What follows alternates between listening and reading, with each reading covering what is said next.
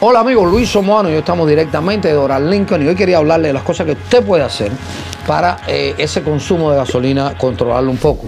Sáquele todo el peso extra que tenga su automóvil. Hay veces que uno en el maletero lleva cosas y cajas y todo ese peso le consume más eh, su automóvil. La otra cosa muy importante es el aire de las gomas.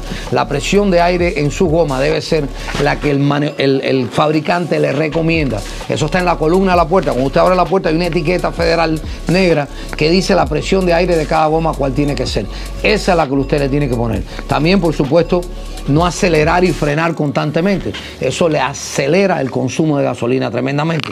Cámbiale el filtro del aire a su automóvil. Eso muchas veces no lo hacemos, es algo muy barato y te hace un flujo mucho mejor de enfriamiento y de aire que te hace que tu automóvil también consuma mucho menos. Así que hay cosas que usted puede hacer para que pueda llegar a fin de mes y ese impacto de la gasolina no sea tan severo como está siendo en este momento. Así que siga sintonizado que le vamos a seguir dando consejos.